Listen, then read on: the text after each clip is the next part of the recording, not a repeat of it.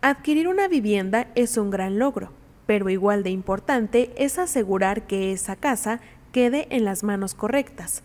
Por eso, en septiembre, el mes del testamento, Infonavit invita a aprovechar los descuentos de hasta el 50% que ofrecen las notarías en todo el país para que se elabore este documento y se decida quién heredará los bienes en caso de que llegara a faltar. El Infonavit recordó que si compraste tu casa con un crédito Infonavit, aunque todavía no termines de pagarla, es muy importante que le incluyas en tu testamento, ya que este documento es la única forma legal que garantiza que tu hogar quedará en manos de quien tú decidas. Además, recuerda que todos los créditos de Infonavit incluyen un seguro por defunción, el cual liquida la deuda en caso de que la persona acreditada fallezca. Esto significa que los beneficiarios no heredarán deudas y no tendrán que seguir pagando el crédito.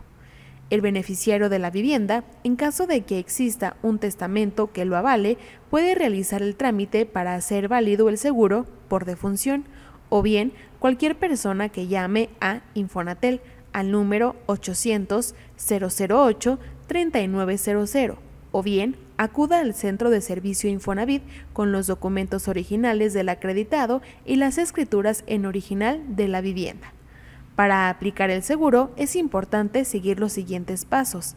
Generar un número de caso, llamar a Infonatel y solicitar un número de caso bajo el concepto de autoseguro por defunción, proporcionar nombre completo, correo electrónico, teléfono y número de seguridad social de la persona fallecida, subir la documentación, una vez obtenido el número de caso, se necesitará ingresar a otro link y subir los siguientes documentos escaneados.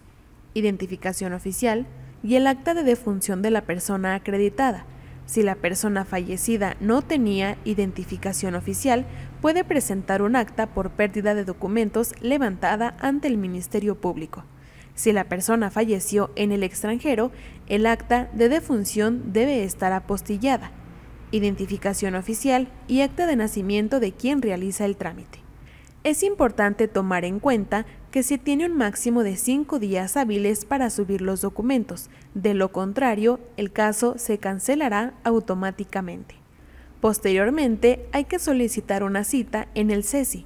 Una vez subidos los documentos, llamar nuevamente a Infonatel para agendar una cita con CESI más cercano, acudir a la cita, asistir al CESI con los documentos originales y copias, así como una cuenta de correo electrónico para recibir actualizaciones sobre el proceso, y en caso de que no se puedan adjuntar los documentos en línea, puede llevar los originales al CESI para entregarlos directamente.